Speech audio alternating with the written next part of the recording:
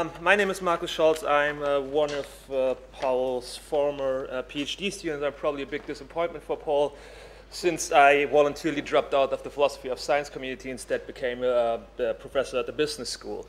However, there were times I had um, higher aspirations, and that was especially at the day when I finished my PhD. And uh, I remember a chat I had with Paul after one or two gin and tonics, and uh, I said, Paul, look, uh, I'm uh, done with my PhD now, and uh, you're going to retire soon. Um, so who's going to be your successor as a chair for the philosophy of science at the University of Hanover? And um, Paul said, uh, well, other than you, Markus, well, you never said that, but um, he came up with another, uh, immediately he came up with a, a brief list of people. Um, one of uh, the persons in the room today, and this is our next speaker, and I'm um, delighted to introduce our next speaker, is uh, Hasok Chang. Hasok Chang is, um, has uh, a lot of common with Paul Hoyningen. They both graduated in, uh, oh, well, they both studied uh, theoretical physics before they decided to do something even uh, less applied, namely uh, philosophy of science.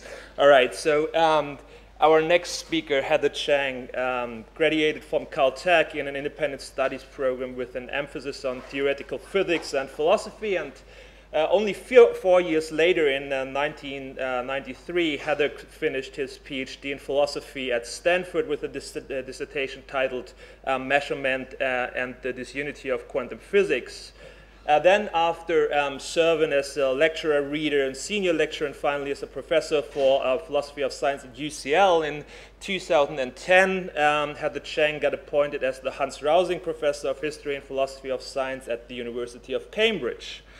Um, Professor Chang is author of many research contributions from uh, at the reason of time, uh, I can only name a few. Um, he's the author uh, of the book Is Water H2O? Evidence, Realism, and Pluralism, uh, published uh, by Springer in 2012. In addition, um, is the author of the book published by the Oxford University Press in 2004, uh, Inventing Temperature Measurement and the Scientific Progress. Uh, additionally, and I found this very charming, um, Professor Chang is also um, the co-editor of the book An Element of Controversy, The Life of Chlorine in Science, Medicine, and Technology and War. Um, the book is actually a collection of original work by undergraduate students at the University College of London. Um, in addition um, to his apparent talent as an author, uh, Professor Chang seems to be a good networker and a servant of his community since he's also co-founder of the Society for Philosophy of Science and Practice, and he also currently serves as the president of the British Society uh, for the History of Science. Um, ladies and gentlemen, I could go on uh, for a little while, but um, I shouldn't. Um, I guess from my introduction, um, you have already understood that Paul was true when he said, like four years ago, Hasok Chang is one of the most interesting and gifted philosophers um, of science as our of our time. Hasok, um, floor is yours, and very excited to hear you talk. Thank you very much.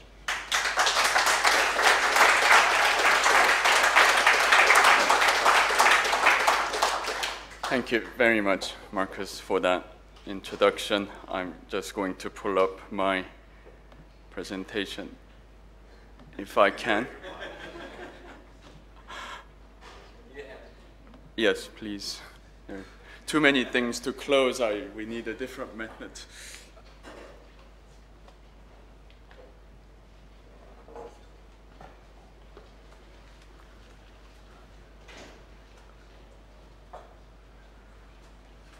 Looks right. Yeah. Thank you, Simon, and also, obviously, for inviting me here, uh, as well as Helmut and everyone else. It's a great pleasure and honor to be here uh, at this event, honoring Paul's uh, great career in philosophy of science. I'm a relatively new member of this Paul family. Uh, I only met him in 2012, I think. But the first time I came across him was much earlier. This was in 1991 when I was doing my PhD at Stanford, as uh, Markus just mentioned. And we were looking for a new professor of philosophy of science. Um, Nancy Cartwright had just left for London, and Peter Galison was about to leave as well. These were the two people I had gone to Stanford to study with, and I wasn't done yet, so it was clearly necessary for me that we get a good person. And they did this very American thing of uh, having a student member of the committee that employed this new professor. So I think they took pity on me because uh, all my people were leaving, and they put me on that committee. And with my relatively you know, novice, uh, untrained eye, I looked through the applications, and it was very clear to me that the man to get was this someone I'd never heard of called Paul Hoyningen Huene. And I mean, nobody could pronounce his name to begin with. so we called him Mr. HH, which is actually better in English, right? So it would be Herr Haha in German. but anyway, I argued very strongly for Paul, and the rest of the committee was not convinced and uh, they said, "Oh, Kuhn, he works on Kuhn. It's passe. Who wants to work on Kuhn?" And I thought I'd really like a supervisor who works on Kuhn. Never mind. So that didn't work. Uh, in the end, they didn't hire anybody because obviously, having decided that Paul wasn't good enough, then nobody, by definition, was good enough. And then they went on uh, next year again, and they uh, didn't invite me to join the committee again. Then I actually met Paul in 2012 at one of the Philosophy of Science Association conferences, and this really was the classic junior scholars conference fantasy, right? In which you give a talk and some famous person that you'd never met comes up to you and says how great it was and, and you are the best thing since himself. Uh, sliced bread, whatever you want. And this is precisely what Paul did. I had given a talk about uh, realism uh, critiquing Stathis Psillos' treatment of caloric theory. Anyway, th this really was such a wonderful event, and having got Paul's characteristically enthusiastic reaction, which many of you know, I thought, you know, I, I'm going to make it in this business. I wasn't sure until then.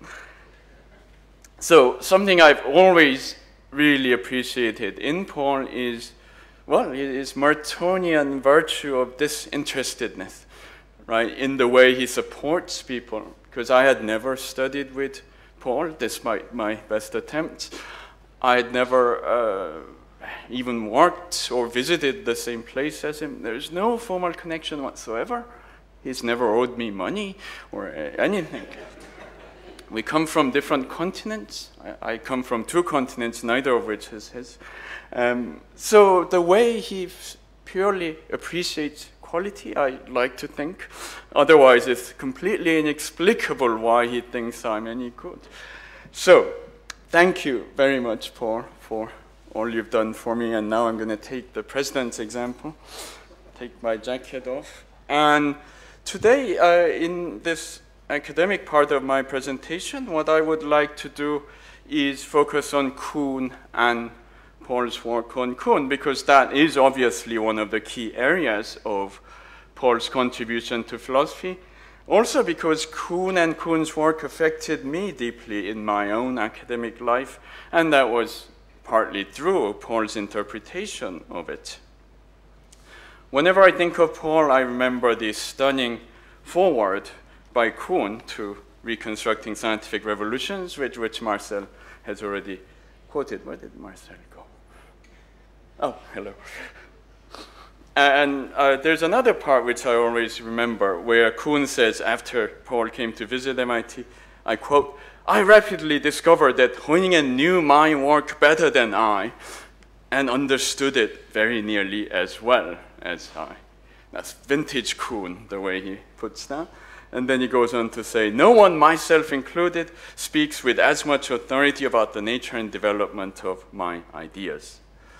What I'd like to suggest today is that taking Paul's reading of Kuhn and taking that to its logical conclusion gives us a productive way of going beyond Kuhn that is actually true to Kuhn's own spirit. So the overall line of argument I want to advance today is quite simple. I want to argue that incommensurability should lead to pluralism if we can remove a certain prejudice that stands in the way. And from this pluralist point of view, incommensurability can be a useful and beneficial thing that we can celebrate instead of always try to avoid. So here I must stress that I'm talking about pluralism rather than relativism. Relativism I take as involving a refusal or inability to make a judgment. In Kuhn's view, uh, science was always an enterprise of making judgments, despite not having a fixed algorithm for it. And pluralism also, like Kuhn's view of science, is not a renunciation of judgment. Pluralism is simply the position that we should have more than one system in place. We should have multiple ones. Uh, i will come back to that, obviously, in more detail. But for now, I'll just give you a very brief definition of pluralism as I mean it, which is the position that it is beneficial to maintain and cultivate multiple systems of knowledge, multiple systems of practice, as I called it recently, even in one given field of science. And that's contrary to Kuhn, and that's where I want to begin. And another obvious qualification to all of that is that, especially in the present company, I'm not expecting to say anything new about incommensurability itself, but I want to focus on its implications. So let me now uh, start with the prejudice that I just spoke of it before, right, that stands in the way of incommensurability leading to pluralism. This prejudice is what has been called Kuhn's paradigm monopoly thesis. This is a phrase that I've actually seen Martin Carrier using uh, in one of his papers, among other people. And uh, as many of you know very well, Lakatos, Laudan, and others have identified this assumption in Kuhn, and they have criticized, criticized Kuhn for it. And this, indeed, is one aspect of Kuhn's work that I have a major disagreement with, and there are not many, actually. I mean, as Paul points out, Kuhn's stance on this issue becomes quite moderated, starting with uh, what Paul calls his 1969 papers, but I think there, there is still plenty of it, strong enough uh, remnant of it in his later work. So I'll talk for the moment as if he still subscribes to the basic idea that in a normal phase of science, there is in each given field just one paradigm on which there is complete consensus or very nearly complete consensus. And the first thing to say, the immediate problem with this paradigm monopoly thesis is a descriptive one. Simply, there are lots of cases in which it doesn't seem to be true, in which science has operated and progressed in a rather normal way without such monopoly. So um, I mentioned, well, Markus has mentioned my recent book, uh, in, in which um, I give three major case studies. And in, in the experience of writing this book, I've encountered two studies, uh, chapters two and three here, uh, treating atomic molecular theory through most of the 19th century and electrochemistry through most of the 19th century. Uh, these cases, I, I, I realized, uh, were instances of science being extremely disunified, yet unquestionably scientific. And the case dealt with in chapter one, uh, the chemical revolution, phlogiston going to oxygen. I mean, that's normally considered a classic instance of a Kuhnian paradigm change. Even there, I found the story was much more complicated. I, I can go on about phlogiston if you want, but it's better for everyone that I don't today. Now, there are many instances, many other instances uh, like this, including the long-running competition between the wave and particle theories of optics, the clash between uniformitarianism and catastrophism in geology, the material and kinetic theories of heat. I mean, all of that is very well known without any particular digging up of unfamiliar history. And then if you do a little bit of digging up, as I do, we find a great deal more to consider. For example, the idea of positive material cold alongside the familiar theories of heat. The idea of the separate existence of optical, calorific, and chemical radiation, which was a mainstream of 19th century physics, not a fringe idea. There's also the cogency that we note of the caloric theories, and again the phlogiston theories, the ether theories, and so on and so on. Even classical mechanics existed in several versions, as we all know. And even the history of something like special relativity is a long history of dissent and suppression. And special relativity, which today only crazy people oppose, we think, has actually long ceased to be an active research field, much like the geometric optics case that Kuhn discusses. So, what do we have? Well, I mean, I have to make one concession, which is that yes, normal science does exist, like Popper once said. Particularly the kind of attitude that makes one think that there is a paradigm monopoly does exist. But it is mostly the attitude of those who have only been taught one thing and don't even know that there are many any other ways of thinking or practicing science. So surely there are people like that, and there are plenty of them, but they do not constitute the whole of science. And this is the case even when there's only one dominant paradigm. We often find other people who don't quite go along with it. So let's not mistake dictatorship for consensus, not to mention universality. Now, I've given you a very compressed uh, version of what, it, what is a long historical argument, but even this quick survey is sufficient to make one wonder. Given this uh, fact that the paradigm monopoly thesis is descriptively wrong enough, why did Kuhn hold on to it as such an important historiographical framing device? Right? What was in it for him? And as one often finds with Kuhn, the normative versus descriptive boundary is neither tidy nor fixed. I once asked Kuhn about this. Uh, this is a long story which I'm not going to get into, uh, in which I, as a struggling undergraduate student randomly wrote Thomas Kuhn and he replied.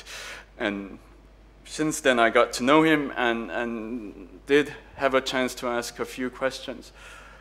A relevant part of this story is how Paul then later went to Kuhn's archive and found my letters to him there. That was very surreal. But Kuhn, when questioned about this, said basically, This is how science works, young man right? Meaning it wouldn't work otherwise. It wouldn't work, at least not as well as it does, if you didn't have that paradigm monopoly. So I think there was an underlying normative argument. But what is it? And I've often tried to find it. Uh, in Kuhn, there, there are some uh, hints, certainly. But I mean, you could imagine that the argument is psychological that, that a scientist is simply not capable of thinking in more than one way.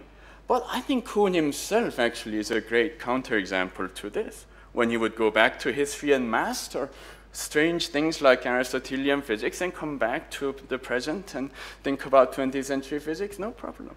I mean, not no problem. It's hard to do, but it, it can be done.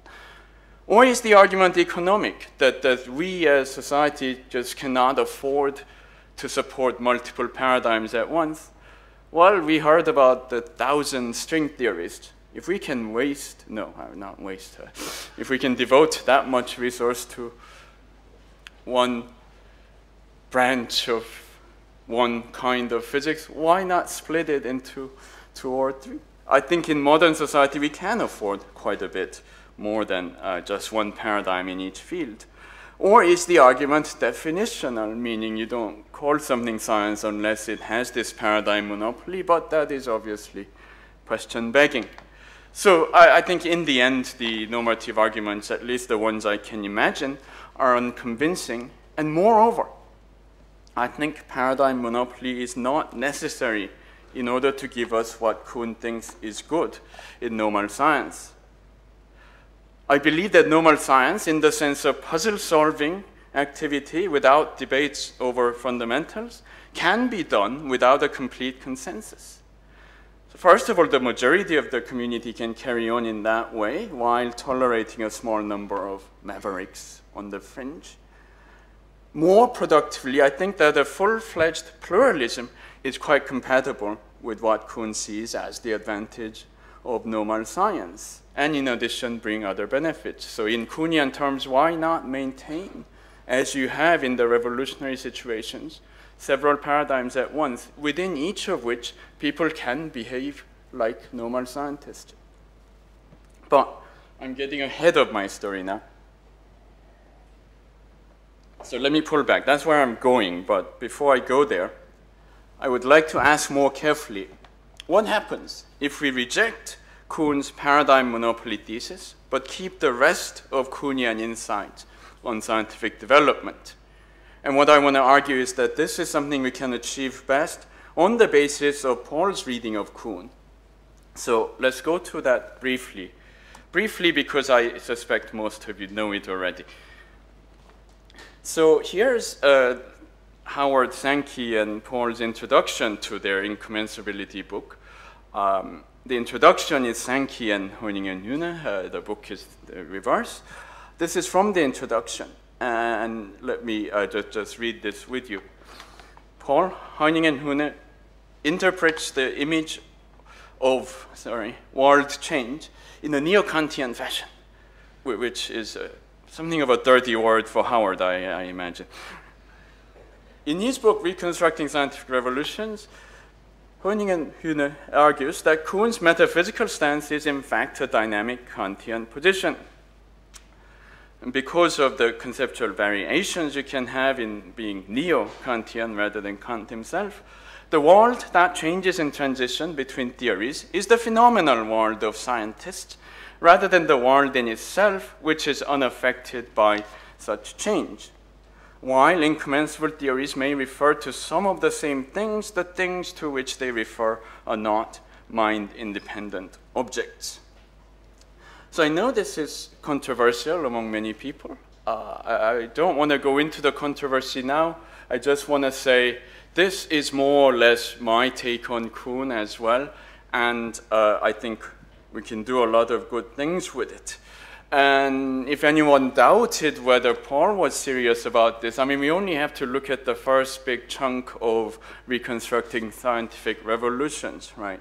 Which opens with the Kant-Kuhn comparison on the matter of the world an sich versus the phenomenal world, right?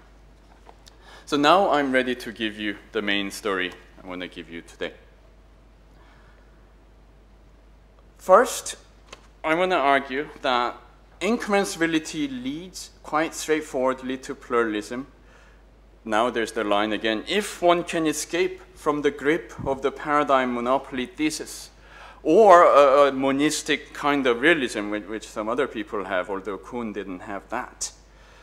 So uh, you'll remember from the uh, incommensurability book of Paul and Howard that they make a distinction between semantic and methodological incommensurability. So let me take the methodological first. And I think methodological incommensurability quite straightforwardly leads to epistemic pluralism right?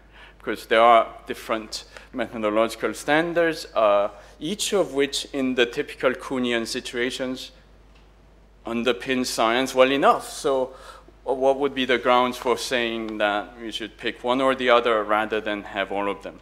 What stands in the way of that is the paradigm monopoly thesis. So if you take that away, then you have pluralism of the epistemic kind. Now, uh, I have given a general argument for epistemic pluralism in the last chapter of the book of mine that I just uh, mentioned. I'm not going to try to give all of that argument here, but um, I think it's just worth noting that there is a straight line from methodological incommensurability to epistemic kind of pluralism.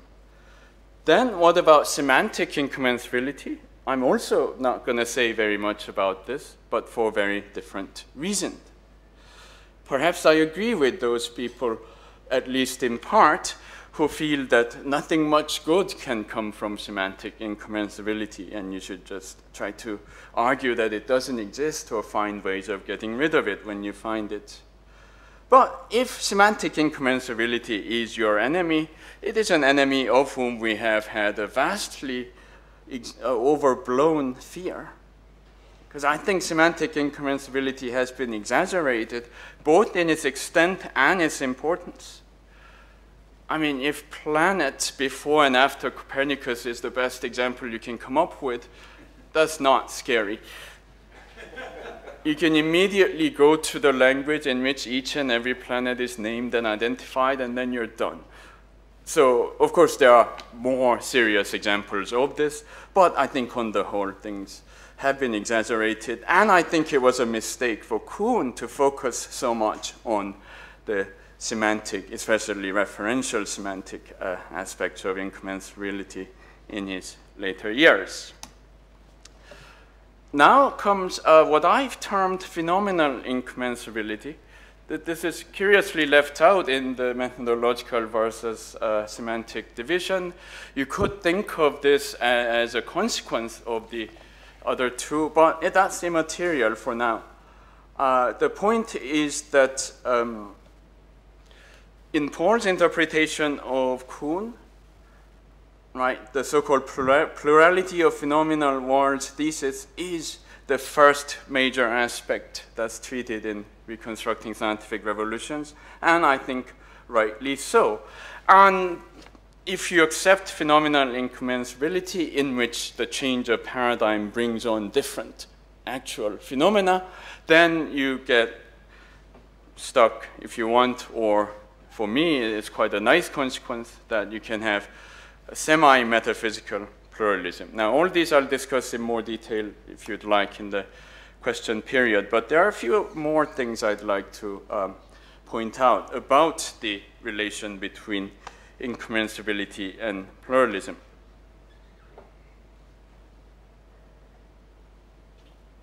So first is a consolation for maybe Kuhn himself or maybe others want to stick with what Kuhn said. As I express it here, a plurality of paradigms is not really much worse than what Kuhn already allows. And by that, I, I have two things in mind. First, I mean, he does allow that um, in the period of scientific, scientific revolutions, you do have multiple paradigms, and not everything is a disaster.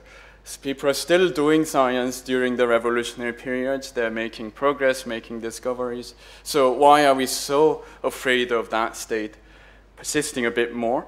And then the other point is that Kuhn does, of course, acknowledge plurality diachronically as you go from one paradigm to another. So if, you, if it's fine to go from A to B to C, why is it so bad to go quickly? Between the same alternatives or at the same time entertain them.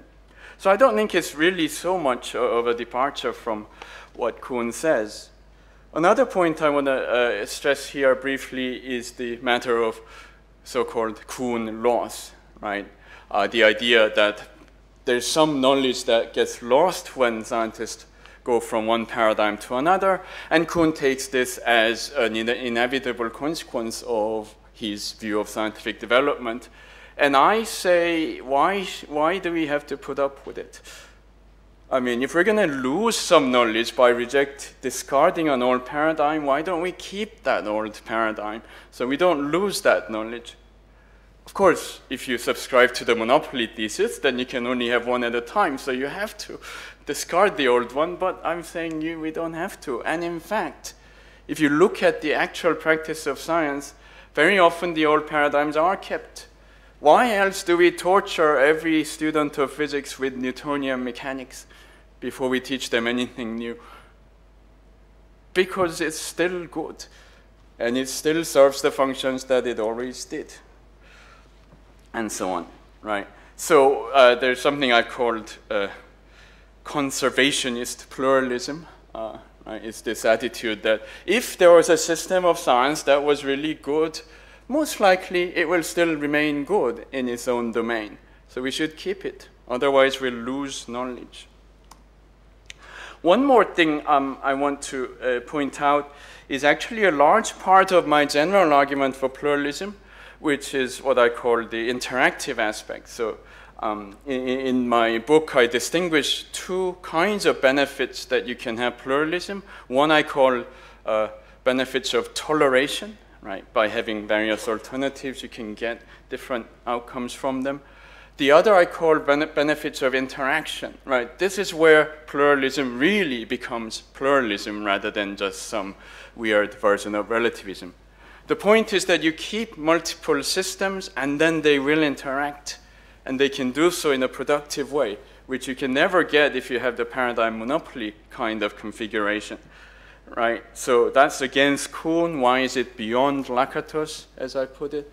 Because Lakatos, of course, acknowledged that you should have plural research programs at once, but in a weird way, only so that you can run the competition and kill all the programs except the one that wins.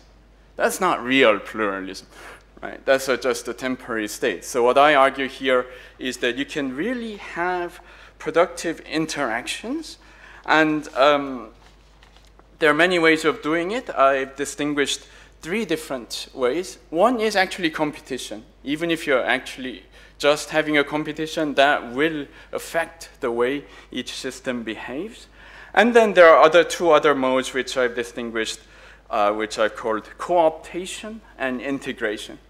Co-optation is when one system takes over good things from another system and makes its own use. So for example, when Lavoisier looked around over to England and saw what Priestley and Cavendish and others were doing and picked out dephlogisticated air from Priestley, turned it into oxygen, picked out inflammable air from Cavendish, turned it into hydrogen, said, bingo, I have the composition of water and everything else.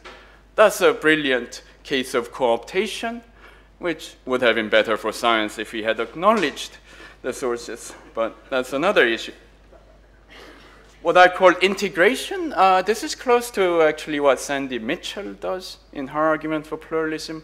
Um, this is when you've got a problem to solve, not one system will solve it, so you pull different aspects of different systems together, make a hybrid that will do the job. And Mitchell talks about the study of social insect communities. My favorite example is GPS, the Global Positioning System which is done by flying satellites up there using Newtonian mechanics, putting atomic clocks on the satellites, which, which run by quantum mechanics, and then you have to correct those atomic clocks by using special and general relativity. And then the signals are beamed down to you who think this is like the flat Earth. And you drive with that. So um, it's a wonderful example of a system which pulls together elements of very different systems uh, and satisfies the need at hand. So this is the real payoff from pluralism, which we can get from rejecting the normative version of the paradigm monopoly thesis. Now, there are just two more things. How much time do I have? Yeah, good. Two more things I want to do before I close. One uh, is to talk about the relation to realism, which I know at least Howard will want me to uh, address. So one key implication of incommensurability and pluralism is, of course, on the question of scientific realism. And what I want to argue is that Paul's kind of neo-Kantian reading of Kuhn is very, very compatible with a position that I've advocated, which I call active realism. Now, what the hell is that, you ask? So this is how I've defined it. Uh, what I call active scientific realism is simply a general commitment to seek out contact with reality and to learn from it as much as possible, consciously, systematically, and precisely. Now, if you put it that way, I mean, who could object to this? And that's exactly what I want. I want you to think this is obvious. the more difficult step is to convince you think, to think that this is what we should mean by realism, rather than what I've called here standard realism, which uh, involves the belief that accepted scientific theories reach the truth, especially with the capital T? At least in an approximate or partial way. So what I call active realism, I think, is quite compatible with, with the Kantian, Kuhnian view on reality. And you might say, well, what does this guy mean by reality? And here I, I, I can't give you the whole discourse, but it's what I call the pragmatist operational sense of it. And quite a brazen definition of reality I'll give you is whatever is not subject to your own will. And here I'm drawing from people like William James, who talk about the resistance that reality offers. And this is precisely what Paul and uh, Howard mention and Paul actually believes, right? So let me go back to their incommensurability book here. So here's again from the introduction, where they say the realist holds that the entities to which the terms of a theory refer exist independently of the theory, and that the world investigated by natural science is an objective reality which exists independently of human thought. So it's a two-part definition of realism. And the way I want to take realism takes the um, blue bit and discards the black bit, right? So yes, there is an objective reality which exists independently of human thought, which is just my definition of reality. But it doesn't follow from that that the entities, sorry, to which the terms of a theory refer exist independently, right? Because that implies that the conceptual part of the entity as we conceive it is also mind independent. And this is the thesis that Paul exactly denies and Howard argues about. So we're taking one half of Howard's realism and going with Paul saying reality is the source of resistance, but it is itself inarticulable. And here's a quotation, the smoking gun. This is actually the very end of reconstructing scientific revolutions, right? Where he goes, we can never subtract the genetically subject-sided from a phenomenal world in such a way as to permit our undistorted view of the purely object-sided, of absolute reality or of the world in itself. The concrete properties of the world in itself are rather inaccessible though we feel the effects of these properties in the resistance of the, in the world offers to our epistemic efforts, we aren't in a position to grasp this resistance as it is in itself. So in preparing for this, I made up my own slogan, right? So it's about this inaccessibility, which goes, success is our only access to reality. And there's an echo of Ian Hacking there, which I'm not going to go into right now. So that, that's, that's one of the two last things I want you to do. The other, as I put it here, is to learn to celebrate incommensurability.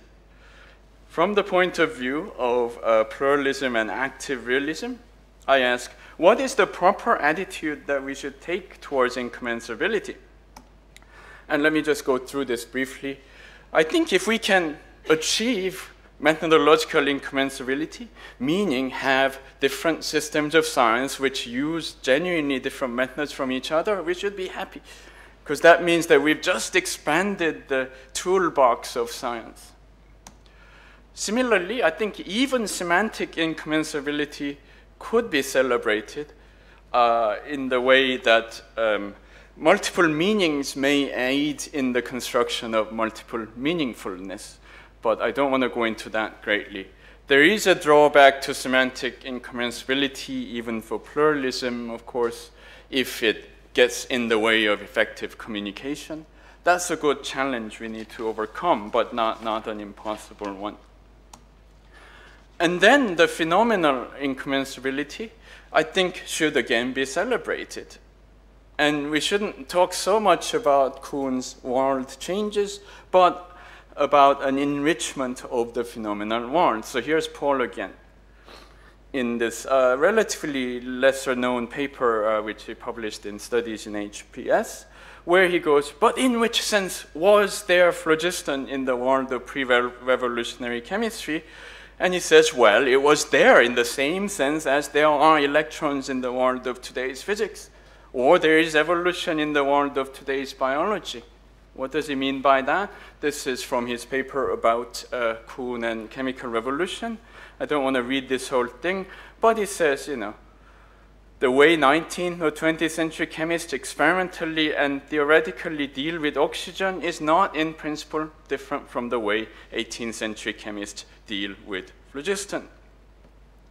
And I, if, if you're coming to the PSA this year, I'm going to put my neck out uh, in that forum and give a talk called If Phlogiston, If You Can Spray Phlogiston, Is It Real?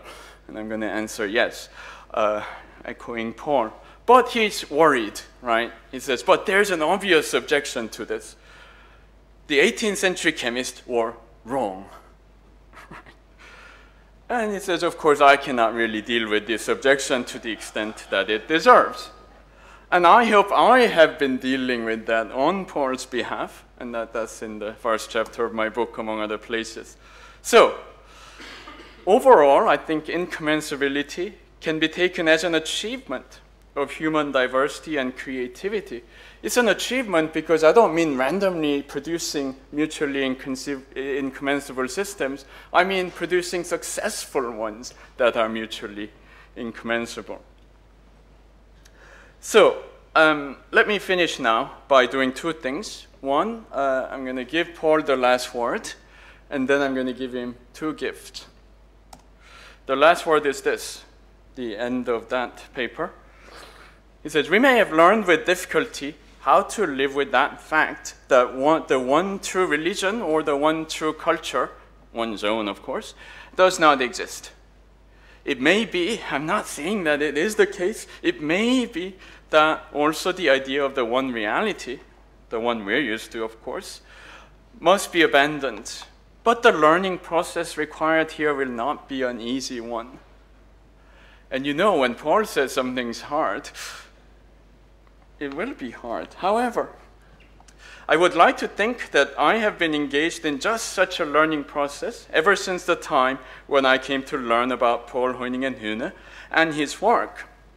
I hope he will now agree that such a learning process is an easier one than he had imagined in 1990, and at any rate, a worthwhile one, even if it remains just as difficult. So now the two gifts. Um, these are uh, instances of Kuhn loss that I found uh, that cons consist in gold and silver as befitting such an occasion. Now, it's unfortunately only going to be pictures of gold and silver, but here we go. So what is this? This is just a test tube containing a, a graphite uh, cathode and gold anode, and we're electro electrolyzing uh, subjecting under electrolysis salt water, just saturated NaCl solution. And you can see from the minus side, hydrogen gas comes out, and you want to know what comes out on the right-hand side here, which is the plus side. And here I want to show you what happens. Can you see that? Yeah. So that's the gold wire nicely dissolving away. Yeah. With the application of two little batteries from the outside. And uh, this is referred to uh, very briefly in a, a, paper of 1801 I found, but not anywhere else. And if you increase the voltage, you might think more stuff like that happens, but no. The gold stops dissolving when you go over about 3.5 volts. And instead, you just get chlorine gas coming out of the gold wire, and then you have to stop, because otherwise you'll gas yourself. This is the second gift. This is a silver tree. Now, uh, such things are still made routinely, but usually by applying an external voltage. This is all spontaneous. So what do you do? You just dip a copper wire that this is a, a, a, plastic envelope with a dark background underneath, underneath, and it's filled with a solution of silver nitrate. That's all. So you stick the copper wire into the solution. What happens is immediately it's covered by silver because the nitrate likes copper better than it likes silver. So it'll cough up the silver it had originally and take some copper from the wire. And this was known to Newton, it was known to medieval people. You might think this is it, right? But if you keep it there, the silver continues to grow on the silver. And you get lots of very nice patterns. So these are the two gifts. Uh, the tree, I think, is also a symbol of the refined systematicity that Paul's latest book expounds. So I've taken up enough of your time. Let me stop here and thank you, Paul, and thank you all very much.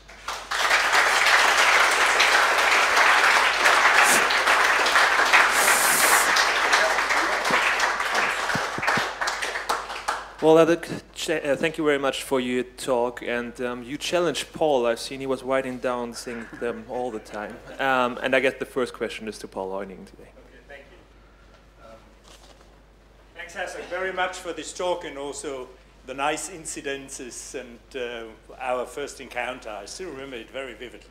So first of all, what you say against the paradigm monopoly thesis, I must say, I must admit that really I never emancipated from Kuhn myself uh, because I didn't have the resources.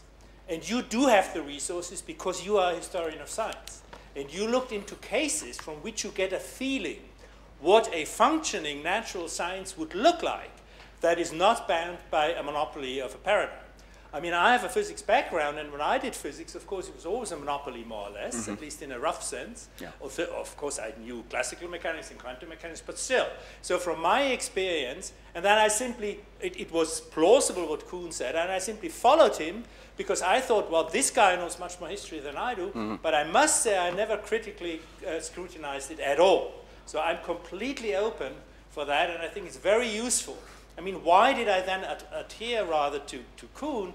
Because the arguments that I knew from Feyerabend against it, mm. they th I thought were, were, lousy. They were just not good enough. and therefore Feyerabend couldn't right. convince me. Right. And then I thought, so Feyerabend can't convince me. And I see Kuhn's argument that sounds pretty plausible, but I'm completely open for the discussion. And it's very interesting to open it up a little. And, and you're doing a, a, perfect job. I mean, I, I often said to you and also to other people, you are the real successor of Paul Feyerabend in our community. That's really true. Okay, and the second thing is when you say semantic incommensurability is exaggerated.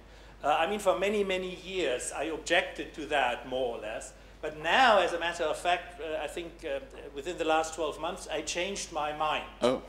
Uh, yes. right. Uh, yeah, you, you're surprised. Wow. Yes, uh, yeah. And the point is in, a in a very different context, in the context of agnotology. Do you know what agnotology mm. is? Yeah, of course, of course you know it, I'm sorry. It's, uh, it's uh, the philosophy of ignorance. Uh -huh.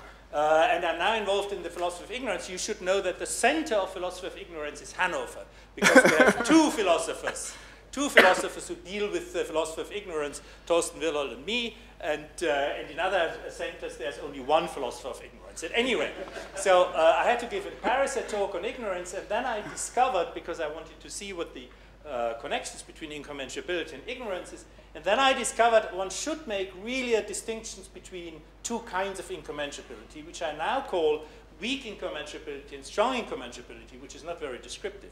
But the point is, and that also may stop a discussion that's been going on for decades, namely that Kuhn said incommensurability always involves these communication problems because of the shift in the lexicon. And many, especially historians, said, well, that's just not what we observe. And you said exactly the same about the planets. Look at it, there are no communication problems. And now I discovered that it's not enough to refer to the uh, uh, differences in the structure of the lexicon in order to conclude from that communication problems. It's just not true. Yeah.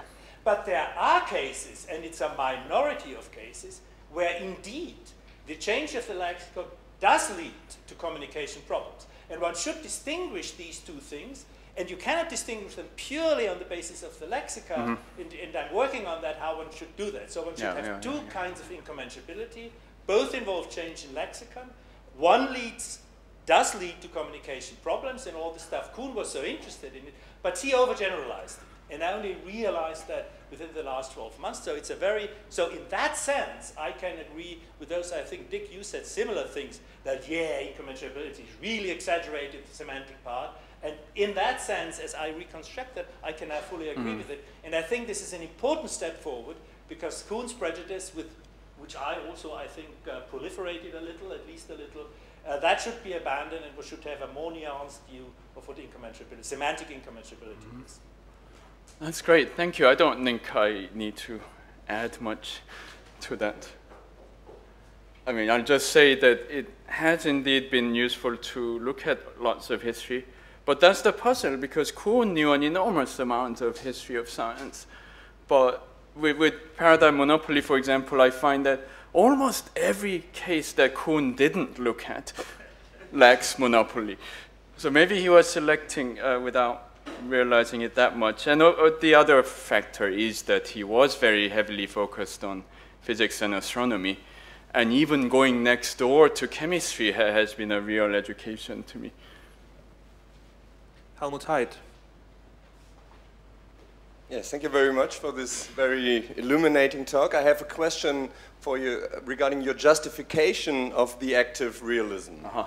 And in particular, since you describe that as a commitment.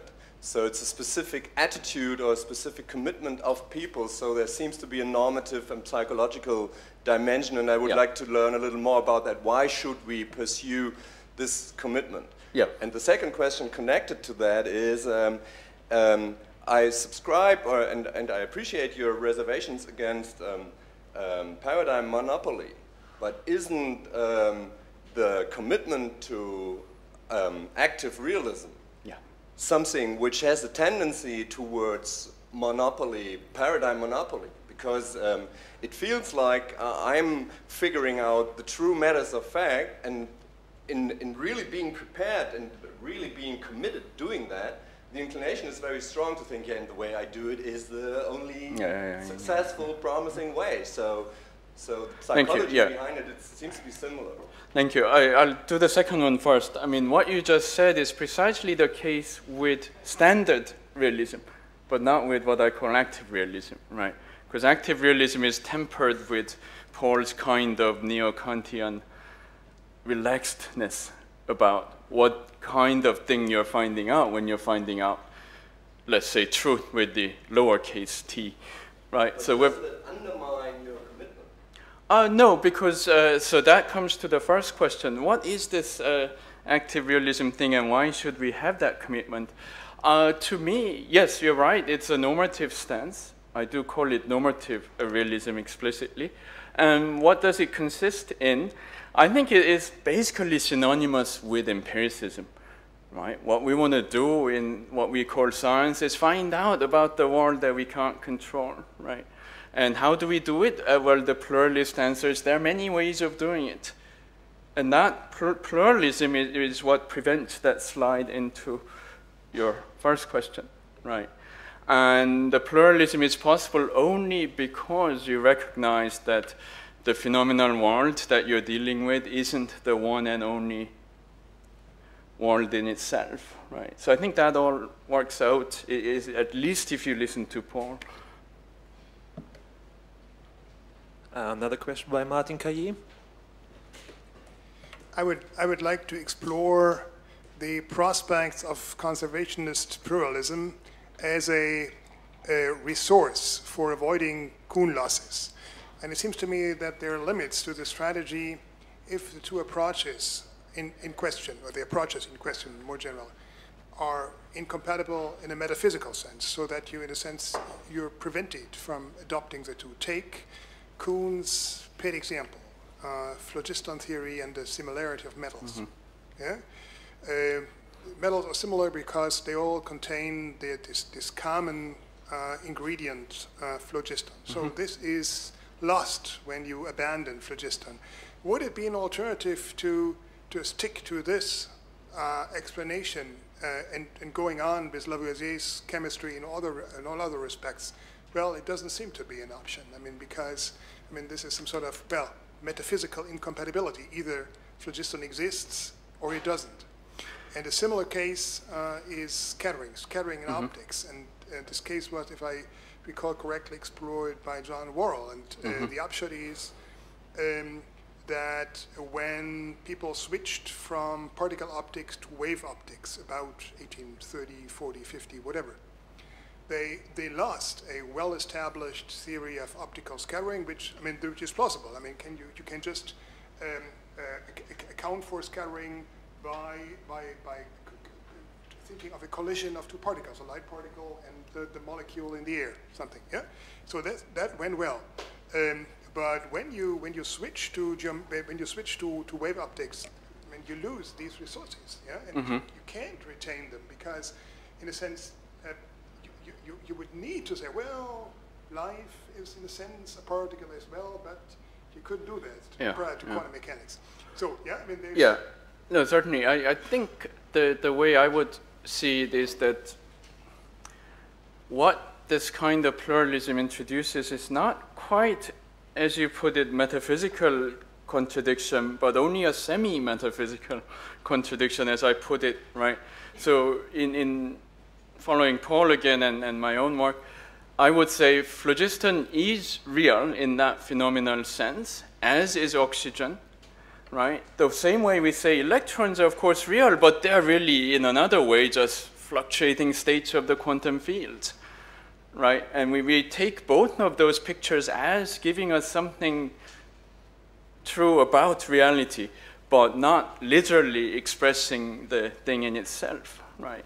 So that, that's how I uh, would be happy to live with this kind of apparent contradiction.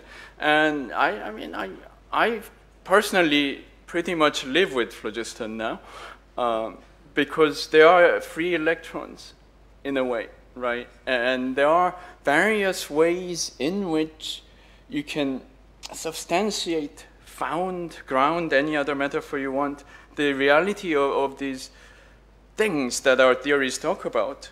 And that's fine if another theory has some other kind of thing that they consider real, as long as you both relax a bit and say, uh, well, what, what, what we consider real here within the theory is not the reality in itself. Okay, I, I agree, but this seems to be a position that is somehow confined to hindsight. Yeah, I'm, I'm, I'm, I'm, I'm, No, I'm, no. I'm wondering, I'm wondering whether the scientist, the acting scientist, the scientist in the trenches, yeah, could adopt such a position. At least nobody did that, and they, I, I doubt whether they could do that because there's some sort of commitment to a certain theory that you that you want to show that some things are true and others are wrong. And I mean, this seems to be a distanced position, yeah, and which you can uh, take a hundred years later. Well, I, I'm not sure because I mean I think if you look at current physics, say, yeah, uh, there could be uh, the ultimate reality of quantum fields, or it could be uh, substantivalist space-time, as the gravitation people put it. I, I think these options are open, or there could be strings, and I think a, a reasonably reflective physicist would admit that we can pursue all these different ways of thinking about nature without saying that with being purely instrumentalist or uh, just one of them must be right in the end. And I mean, historically, I think, again, looking at the details shows you something very interesting. So Cavendish, right, published a paper in 1784, right? This is the second version of phlogistonism that Alan Musgrave talks about in his paper. And in that paper, he says, yeah, I understand what Lavoisier is saying. I know how to perfectly make sense of things according to his theory. I also know how to make perfect sense of things with my phlogiston theory. And then he says a remarkable thing, uh, based by two things, but the one thing he says at first is, well, these two are equally good. I'm a conservative kind of guy. I'm not going to change my mind. But he fully acknowledges that Lavoisier's way of conceiving the world makes sense. So, what would he have said if you asked him, is oxygen real? I think he would have said, yeah, if you really care about that question, sure. I'm a little bit conservative as well and German, and so I have to keep track of time. There's one last question in the back.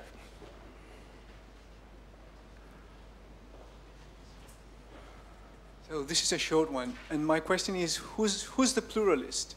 So uh, in your, uh, let me elaborate a little bit. So can you hear me? Yeah. Yeah. So, um, with your active realism, you got rid of the uh, option that being pluralist might be it might uh, mean being uh, incoherent somehow, inconsistent, because you can subscribe to different theories uh, uh because they are phenomenally true, but maybe not in themselves, uh, as the word in themselves mm -hmm. is concerned. But then, so there's logically there's no problem, but then I think there is some sociological problem in uh, um, thinking about an individual scientist being pluralist, uh -huh. and especially in his mid-career, maybe when he's a student, maybe when he's uh, uh, yes. established, he can be pluralist, but then in his mid-career, he can have some problems. So if the pluralist is, in, is the individual, yeah. Not sure is, if the pluralist is a school master or um, leader of a network of scientists. Not sure. If it is the whole community, then no problem. That's a very good point. Thank you, Matteo. And it goes slightly back to Helmut's original question, so I'll try to tie it back. So the, the answer there is there are different ways of being pluralist and different degrees of it, right? So it could be that uh, particular individuals are simply incapable of entertaining more than one way of doing things at a time. And those people can also be accommodated in the pluralist republic of science. So you can have several paradigms or systems of practice, as I put it, at the same time, and there can be people who just belong to one and they only think like that and that gives them the commitment that they need in order to be scientists as long as then they don't go and burn down the other people, right? And let them do what their narrow-minded monistic way of thinking allows them to do. So that's the basic level, but I think we can rise above that. Uh, so the next level would be to come out occasionally from your monistic cave and link up with the other people, doing projects like GPS, these days, engineers do a lot of that. Scientists can do more of that role as well. And then I think it is also possible for an individual to truly think in a pluralist, integrated way. Uh, that may not be everyone's preferred way of life. But I think there are these different degrees of pluralism which can all be accommodated into uh, the general scientific community. Thank you. The bell rang, so I, I think I should shut up now.